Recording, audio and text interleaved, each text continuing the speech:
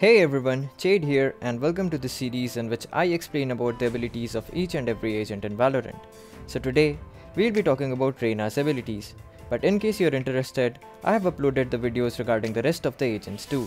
So make sure to check the description box for the playlist and subscribe as I'm uploading more of these and a lot more on a daily basis. So now, let's begin. So Reyna is a vampire and the latest addition to the Valorant's agent roster. So she just like every other agent in this game has got 4 abilities.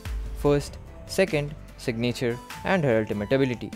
Each of the abilities are binded to a specific key on your keyboard which you can change at any point of time from the in-game settings option. Her first ability is called Leer aka the Flash.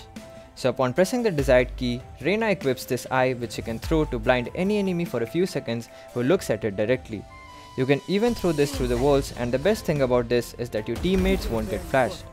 Keep in mind that enemies can shoot at it to destroy and end their blindness. The Leer costs 200 creds and you can buy 2 in each round. Her second and third abilities are Devour and Dismiss respectively, which are connected to one another.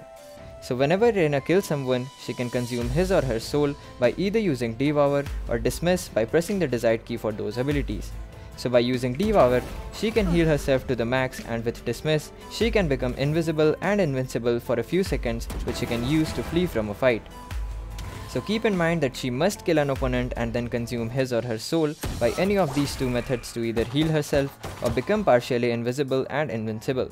Devour costs 100 creds and you can buy 4 of this in each round.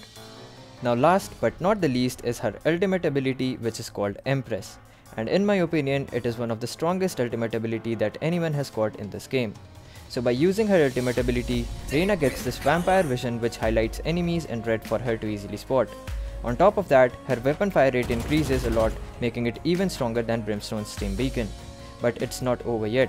Whenever you kill an enemy, your health will automatically regenerate back to full. And when you use her third ability after killing an enemy, she will actually become completely invisible for a few seconds which is just mind blowing. So Reyna is a very powerful agent whose abilities are very strong.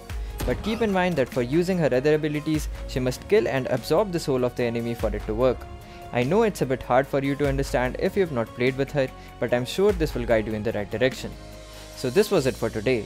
Please make sure to like this video and subscribe as tons of videos are incoming which will help you in understanding everything regarding this game and getting better at it. Also, I live stream daily at noon so please make sure to come and say hi whenever you like it. So I'll see you guys in my next video or live stream. Till then, Jade out.